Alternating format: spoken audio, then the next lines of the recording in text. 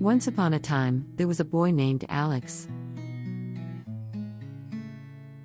Alex was a picky eater and only liked to eat junk food.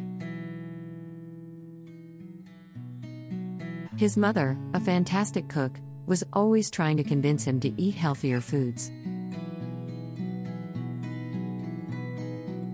Alex would always refuse, saying that he didn't like the taste of vegetables or fruits. One day, Alex's mother had to take him to the doctor for a checkup. The doctor noticed that Alex was not growing as much as he should be and was concerned about his health. After examining Alex, the doctor recommended that he start eating healthier foods to ensure that he was getting all of the nutrients he needed to grow strong and healthy. Alex's mother took the doctor's advice to heart and decided to change the way she cooked for her family. She began incorporating more vegetables, fruits, and whole grains into their meals. She also started cooking with less salt, sugar, and fat. At first, Alex was not happy with the new changes.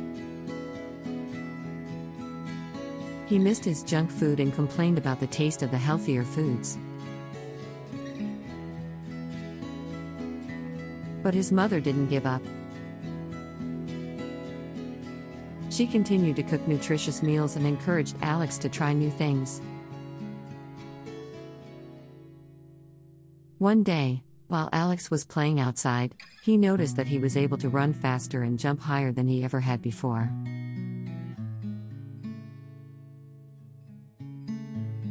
He also felt more energized and less tired.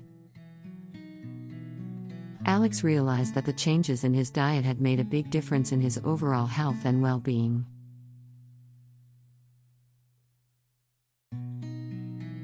From that day on, Alex became interested in learning about healthy foods and started to enjoy trying new things.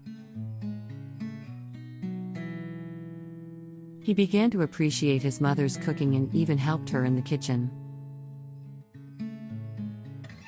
Alex learned that healthy foods could be delicious too and that they were important for his growth and development.